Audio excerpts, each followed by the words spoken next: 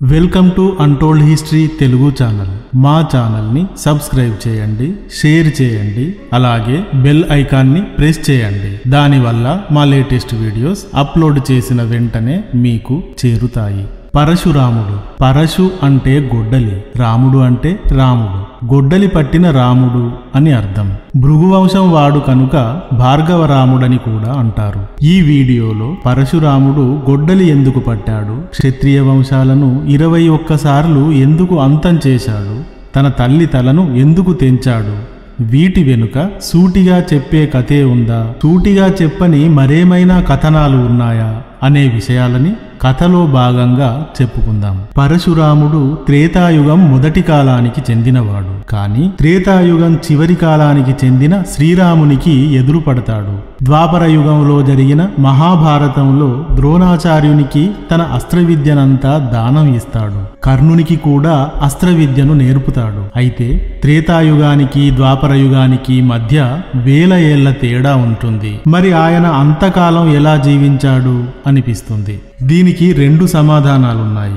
ఒకటి ఆయన విష్ణువు ఆరవ అవతారం. మరి విష్ణువు ఆయు ప్రమాణం ఇంతెలా ఉంది అంతెలా ఉంది అని ఎలా ప్రశ్నించగలం? ఆయన ఎంతకాలమైనా జీవించగలడు. అంతేకాదు పరశురాముడు చిరంజీవి అని ఆయన ఇంకా చిరంజీవిగా మహేంద్రగిరికి చెందిన ట్రావెన్కోర్ అనే ప్రాంతంలో జీవించి ఉన్నాడని విశ్వసిస్తారు. మహేంద్రగిరి కేరళలో ఉంటుంది. రెండవది చరిత్రకారుల ప్రకారం పరశురాముడు అన్యాయాన్ని నరికివేయడానికి గొడ్డలి పట్టే వ్యవస్థను ఏర్పాటు చేశాడని.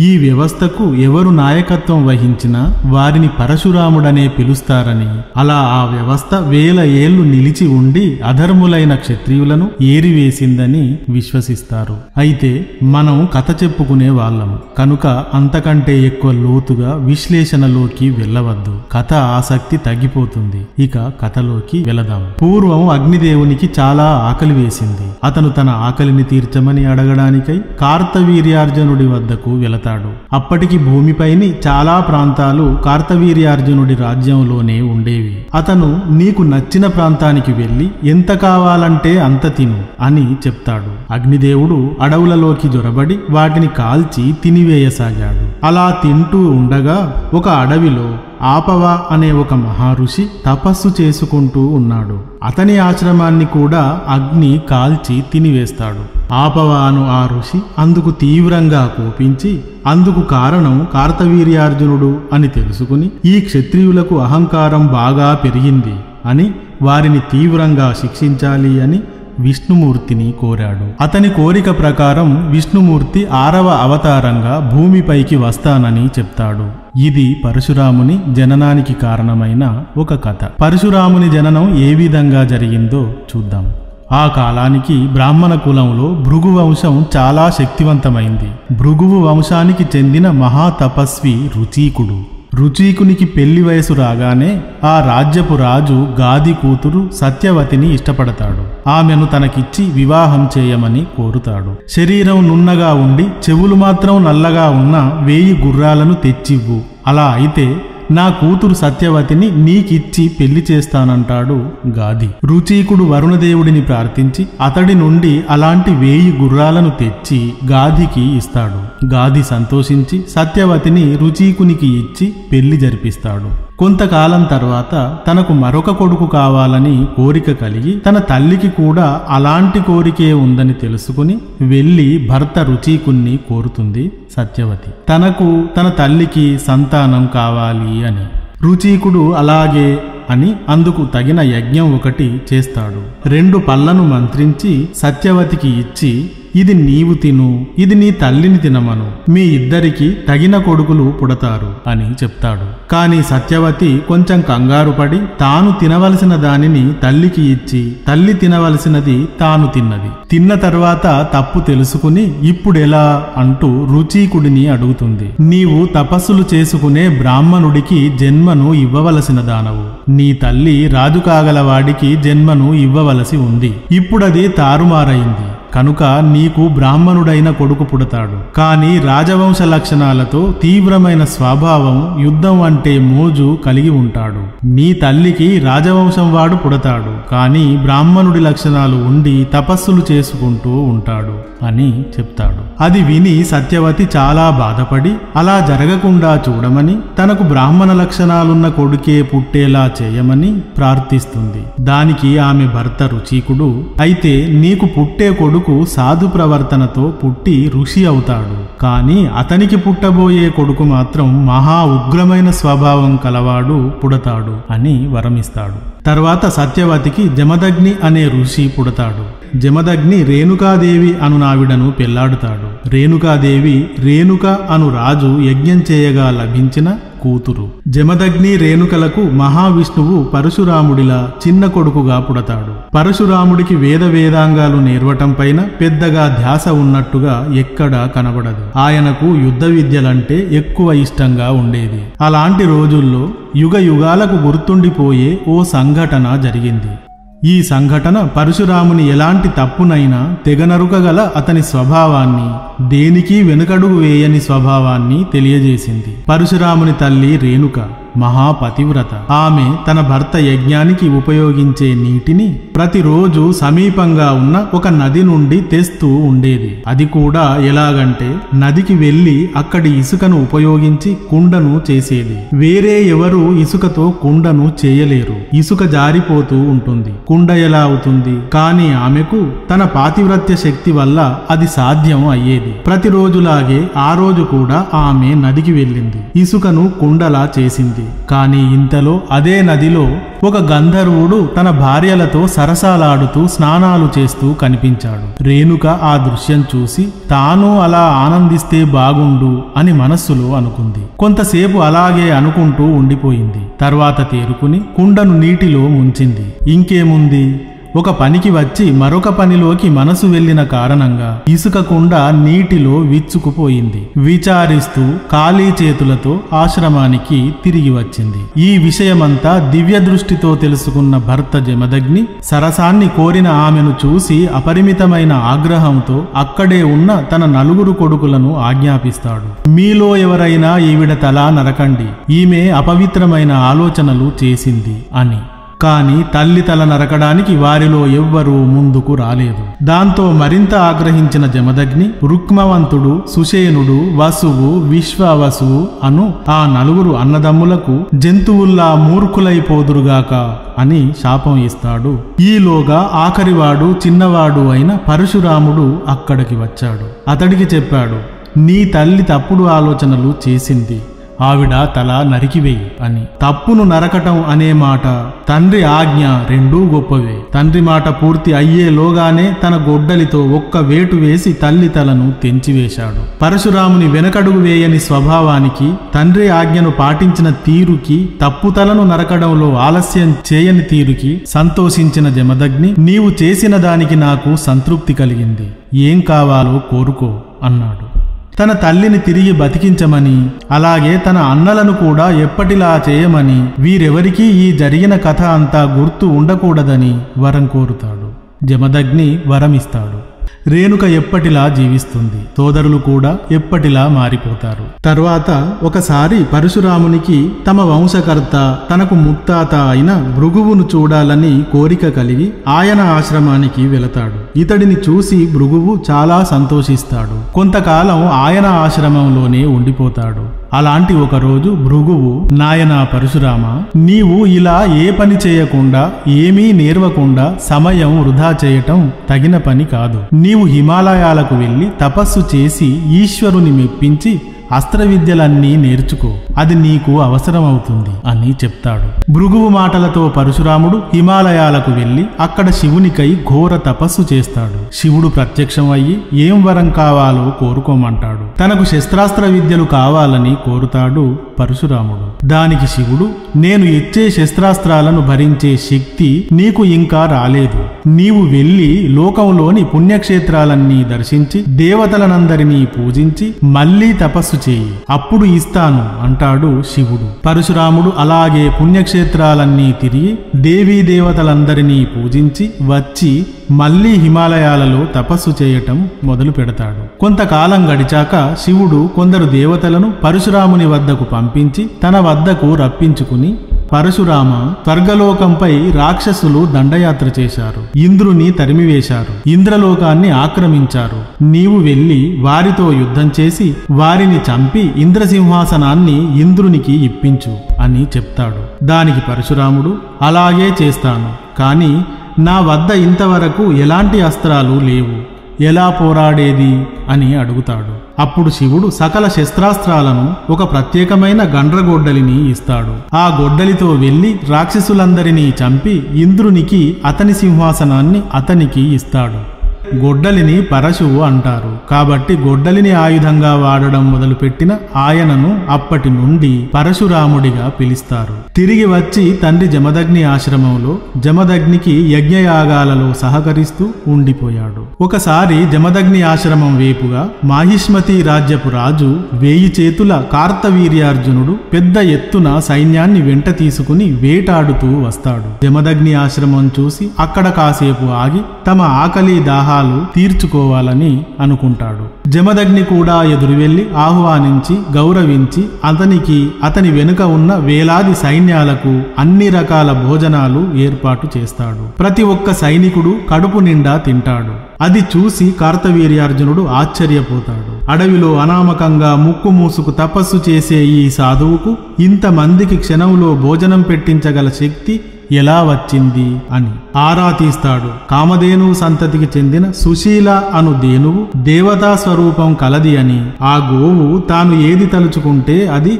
ఎంత తలుచుకుంటే అంత సృష్టించగలదని తెలుస్తుంది. రాజు అది తెలుసుకుని వెనుతిరిగి వెళ్ళిపోతాడు. కాని ఆ రాజుకు ఆ దేనువును కొట్టేయాలి అని కోరిక కలుగుతుంది. చంద్రగుప్తుడు అను తన సేనానిని జమదగ్ని వద్ద నుండి ఆవును తీసుకురమ్మని పంపిస్తాడు. అతను వెళ్ళి రాజాజ్ఞను జమదగ్నికి విని వినిపిస్తాడు జమదగ్ని అందుకు ససేమిరా అంగీకరించడు. ఈ దేనువు నాతో ఉన్న వేలాది మంది మునులకు జీవనాధారం అని.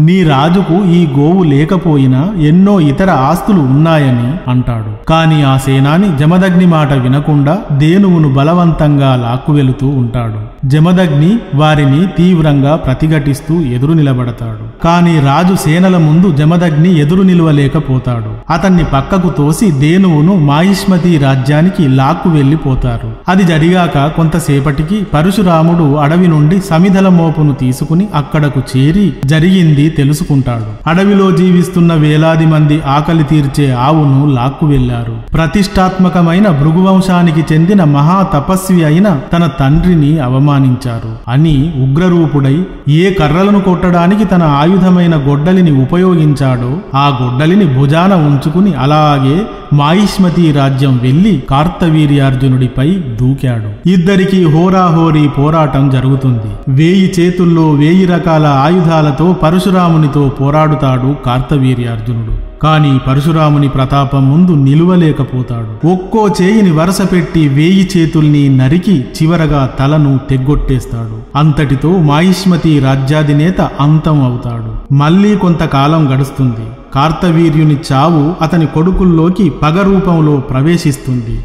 బదులు తీర్చుకోవాలని నిర్ణయించుకుంటారు. ఆశ్రమంలో పరశురాముడు లేని సమయం చూసుకుని తన తండ్రి ఏ దేనువు కోసం ప్రాణాలు పోగొట్టుకున్నాడో ఆ దేనువును పట్టి లాక్కు వెళ్ళడానికి ప్రయత్నించారు. వారి ప్రయత్నానికి ఎప్పటిలాగే జమదగ్ని అడ్డు నిలిచాడు. కార్తవీర్యుని కొడుకులు పగతో రగిలిపోతున్నారు కదా. జమదగ్నిని చంపిపడేసి ఆశ్రమం తగులబెట్టేసి అరాచకం సృష్టించి వెళ్ళిపోతారు కాసేపటికి పరశురాముడు వచ్చాడు. తండ్రి శవంపై పడి గుండెలు బాదుకుంటూ ఏడుస్తున్న తల్లి రేణుకను చూశాడు. ఆమె అలా ఇరవై ఒక్కసార్లు గుండెలు బాదుకోవడం చూశాడు. కారణం ఎవరో కనుక్కున్నాడు. అతని కళ్ళు అగ్నిజ్వాలలు చిమ్మాయి. నరాల్లో రక్తం లావాలా పరిగెత్తింది. ఈ క్షత్రియులకు అధికారం చేతిలో ఉందని నీతి అవినీతి మంచి చెడు అన్న విషయాలు మరిచిపోయి ఎంతటి అత్యాచారాలకైనా తెగబడుతున్నారని వీరిని సమూలంగా అంతం చేస్తా. అధికారం ప్రజలను రంజింపజేసేదిగా ఉండాలి కాని ప్రాణాలు తీసే జ్వాలలా ఉండకూడదు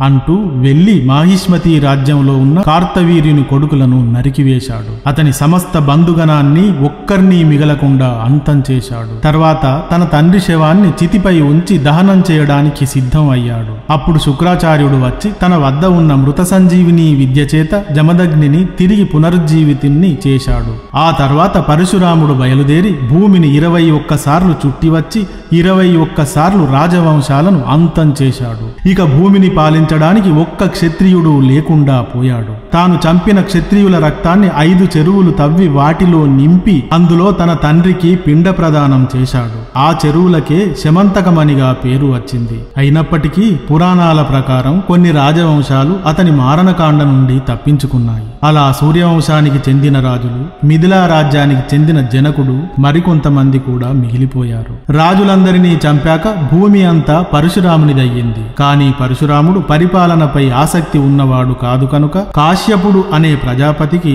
తాను గెలిచిన నేలనంతా అప్పగించాడు. అంతా స్వాధీనం చేసుకున్న కాశ్యపుడు నీకిప్పుడు ఇక్కడ స్థలం లేదు కదా ఇక ఇక్కడ నుండి వెళ్ళిపో అంటాడు. అప్పుడు పరశురాముడు భారతదేశపు దక్షిణ ప్రాంతానికి వస్తాడు. అక్కడ నుండి ముందుకు వెళ్ళడానికి సముద్రుడు అడ్డు వస్తాడు. దాంతో ఆయన సముద్రుని పైకి నాగాస్త్రం సంధిస్తాడు. సముద్రుడు భయపడి ఆయన ముందు ప్రత్యక్షమయ్యి నీకు కోరినంత నేలను ఇస్తాను. ఎక్కడ నుండి ఎక్కడి వరకు కావాలో నీవే ఎంచుకో. అంటాడు. పరశురాముడు తన గండ్రగొడ్డలిని సముద్ర జలాలపైకి విసురుతాడు. అది రెండు యోజనాల దూరం వెళ్ళి పడుతుంది. సముద్రుడు అది పడినంత దూరం వెనుక్కు తగ్గుతాడు. అక్కడి ప్రదేశంలో కొంతకాలం తపస్సు చేసుకుని అది కూడా దానమిచ్చి తాను హిమాలయాలకు తపస్సుకై వెళతాడు. సముద్రుడు వెనుకకు జరిగిన ఆ ప్రదేశమే కేరళలోని గోకర్ణం అనే పుణ్యక్షేత్రం అయ్యింది. పరశురాముని కథ సూటిగా సాగింది. మొదట ఆవును దొంగిలించుకు వెళ్ళినందుకు కార్తవీర్యుణ్ణి చంపాడు పరశురాముడు. కార్తవీర్యార్జునుని కొడుకులు పరశురాముని తండ్రిని చంపారు. పరశురాముడు తిరిగి కార్తవీర్యుని కొడుకులను చంపాడు. లెక్క సరిపోయింది. కాని పరశురాముడు క్షత్రియుడనే వాడినే లేకుండా చేస్తాను అని ఇరవై ఒక్కసార్లు హత్యాకాండ ఎందుకు చేశాడు? కార్తవీర్యుని కొడుకులను చంపటంతో వదిలివేయవచ్చును కదా? దీని వెనుక ఇంకేమైనా కథ ఉందా? అనిపిస్తుంది. అవును నిజమే ఉంది. ఆ కథ ఏమిటో తెలుసుకోవాలంటే మనం కార్తవీర్యార్జునుడి కథను కూడా తెలుసుకోవాలి. పరశురాముడు భృగువు అను వంశానికి చెందిన బ్రాహ్మణుడు అని చెప్పుకున్నాం కదా. అలాగే కార్తవీర్యార్జునుడు హైహయ అను వంశానికి చెందిన క్షత్రియుడు. కార్తవీర్యుని పూర్వీకులైన హైహయ రాజులు చాలా శక్తివంతులు. విశాలమైన భూభాగం ఉన్న రాజ్యం కలిగినవారు దాంతోపాటు బ్రాహ్మణులకు ఇతరులకు విపరీతంగా దానధర్మాలు చేసే గుణం కలిగి ఉన్నవారు. వారు ఎంతగా దానధర్మాలు చేశారంటే ఒక తరం వచ్చేసరికి పాలన సాగించడానికి సరిపోయేంత ధనం కూడా లేని దరిద్రులు అయ్యారు. వారి వద్ద దానాలు పుచ్చుకున్న బ్రాహ్మణులు మాత్రం బాగా ధనవంతులు అయ్యారు. ముఖ్యంగా భృగువంశపు బ్రాహ్మణులు రాజులను మించిన ధనవంతులు అయ్యారు. తలకిందులైన ఆర్థిక పరిస్థితిని గుర్తించిన హైహయలు బ్రాహ్మణులకిచ్చిన దానాలను తిరిగి వెనక్కు ఇచ్చివేయమని ఆజ్ఞ చేశారు. రాజులతో ఎందుకు గొడవ అని చాలా మంది వెనక్కు ఇచ్చారు. కానీ భృగువంశం బ్రాహ్మణులు మాత్రం వెనక్కు ఇవ్వలేదు. ఇవ్వని వారిపై దాడులు చేశారు. దొరికిన వారిని దొరికినట్టు చంపివేశారు. చాలా పెద్ద మారణహోమమే జరిగింది. ఇక ఆ ప్రాంతంలో బతకటం కష్టం అయ్యింది చావగా మిగిలిన వారు హిమాలయాలకు పారిపోయారు. అలా పారిపోయిన వారిలో అపవాహనుడు అనే ముని భార్య ఒకరు. అపవాహనుడు చివన మహర్షి కొడుకు చివన మహర్షి భృగు మహర్షి కొడుకు భృగు మహర్షి బ్రహ్మ కొడుకు బ్రహ్మ విష్ణువు కొడుకు. ఇది వంశవృక్షం. అయితే పారిపోతున్న అపవాహనుడి భార్య గర్భంతో ఉంటుంది. హైహయలు గర్భంలో ఉన్న శిశువుల్ని కూడా వదలటం లేదని ఆమె తన గర్భాన్ని తొడలో దాచుకుని ఔరవుడు అనే వాడికి జన్మనిస్తుంది. తొడను ఊరువు అంటారు కాబట్టి అతను ఔరవుడు అయ్యాడు. ఔరవుడు తన తల్లి తొడలో ఉన్న సమయంలో తన వంశంపై హయహయలు చేసిన పైశాచిక దాడిని గుర్తుపెట్టుకున్నాడు. అందుకే పుట్టగానే నిప్పులు కురిపించే తీక్ష్ణమైన కళ్ళతో చూశాడు. దాంతో హైహయ రాజులంతా గుడ్డివారయ్యారు. అంతా వచ్చి ప్రార్థించగా వారి గుడ్డితనం పోతుందని శాపం వెనక్కు తీసుకుంటాడు. కానీ తన కోపం తీరక హిమాలయాలకు వెళ్ళి భీకరమైన తపస్సు చేస్తాడు. అప్పుడు అతనిలోంచి బడబానలం అనే భీకరమైన మంట వెలువడి క్షత్రియులను నాశనం చేస్తుంది. కాని దేవతలంతా మళ్ళీ వచ్చి అతడిని ఆపుతారు. తనలోంచి వెలువడిన బడబానలాన్ని సముద్రంలో వదులుతాడు. ఇలాంటి ఔరవుని కొడుకు రుచీకుడు. రుచీకుని కొడుకు జమదగ్ని. జమదగ్ని కొడుకు పరశురాముడు. అంటే అన్ని తరాలుగా రెండు వంశాల మధ్య భీకరమైన ఘర్షణలు జరిగాయి. ఈ ఘర్షణలో భాగంగానే కార్తవీర్యుడు జమదగ్ని ఆశ్రమంపై దాడి చేశాడు. కార్తవీర్యార్జునుడు కృతవీరుని కొడుకు. కృతవీరుడు భృగువంశ బ్రాహ్మణుల చేత సోమయజ్ఞం చేయించి ఉన్న కాస్త ఆస్తిని కూడా దానం చేస్తాడు. ఇతని తర్వాత కార్తవీర్యార్జునుడు దత్తాత్రేయుని కోసం ఘోరమైన తపస్సు చేసి అతని నుండి చాలా వరాలు కోరుతూ వేయి చేతులు కావాలని కూడా కోరుతాడు. దత్తాత్రేయుడు అతను కోరినవన్నీ ఇస్తాడు. తరువాత నర్మదా నది ఒడ్డున మాహిష్మతి అనే నగరాన్ని నిర్మించుకుంటాడు. లోకంలోని రాజులందరిపైకి జైత్రయాత్రకు వెళ్ళి గెలుస్తాడు. ఇంద్రుని భార్య ముందే ఇంద్రుణ్ణి అవమానిస్తాడు. ఒకసారి రావణాసురుడు నర్మదా నదిలో స్నానం చేస్తుండగా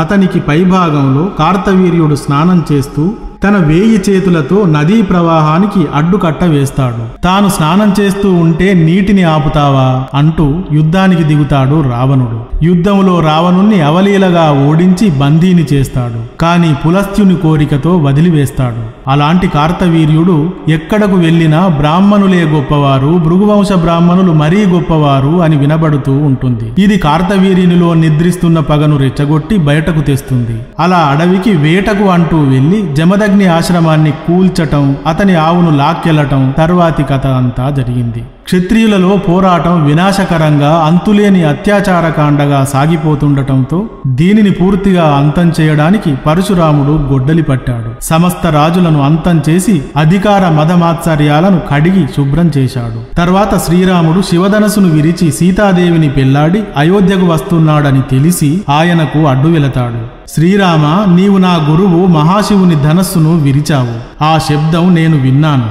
మహావీరునివని కూడా విన్నాను. నీవు నిజముగా అంతటి వీరునివి అయితే ఇదిగో నా వద్ద వైష్ణవ ధనస్సు ఉంది. మహావిష్ణువు స్వయంగా మా తాత రుచీకుని వద్ద దాచి ఉంచినది ఇది. దీనిని ఎక్కుపెట్టు చూద్దాం. దీనిని గాని ఎక్కుపెడితే నాతో ద్వంద్వ యుద్ధం చేయడానికి నీకు అనుజ్ఞ ఇస్తాను అంటాడు. అప్పుడు శ్రీరాముడు పరశురాముని నుండి వైష్ణవ ధనస్సును తీసుకుంటాడు. దానితో పాటుగా అతనిలోని వైష్ణవ శక్తిని కూడా తీసుకుని ధనస్సును సంధిస్తాడు. దాంతో పరశురాముడు సంతోషంతో సంతృప్తి చెంది ఆశీర్వదించి మహేంద్రగిరికి తపస్సుకు వెళతాడు. అంటే కార్తవీర్యుని లాంటి క్రూరమైన రాజులను అంతం చేసి శ్రీరాముని లాంటి మంచి రాజుకు తన శక్తిని ఇచ్చివేశాడని పరశురాముని పక్షం వారు కూడా శ్రీరాముడిని అంగీకరిస్తారని మనం అర్థం చేసుకోవచ్చు. అన్యాయాన్ని దుర్మార్గాన్ని కూకటి వేళ్ళతో పీకివేసిన పరశురాముడు విష్ణువు ఆరవ అవతారంగా పూజించబడతాడు. చెడును సమూలంగా నాశనం చేసే ప్రతి సందర్భంలోనూ పరశురాముని పేరును వాడుతారు. ముఖ్యంగా సినిమాలలో ఎక్కువగా వాడుతారు. శ్రీరాముని ముందు కనిపించిన పరశురాముడు తిరిగి ద్వాపర యుగం చివరలో జరిగిన కురుపాండవ యుద్ధ సమయాన కనబడతాడు. భీష్మునికి అస్త్ర విద్యను నేర్పుతాడు. ద్రోణాచార్యునికి అస్త్రవిద్యనంతటినీ దానమిస్తాడు. కర్ణుడికి కూడా అస్త్ర విద్యను నేర్పుతాడు. కానీ తానెవరో చెప్పకుండా దాచి మోసం చేశాడని నేర్పిన విద్యను సమయానికి కర్ణునికి పనికి రాకుండా పోతుందని శాపం కూడా ఇస్తాడు. ఈ విధంగా త్రేతాయుగంలో మొదటి దశలో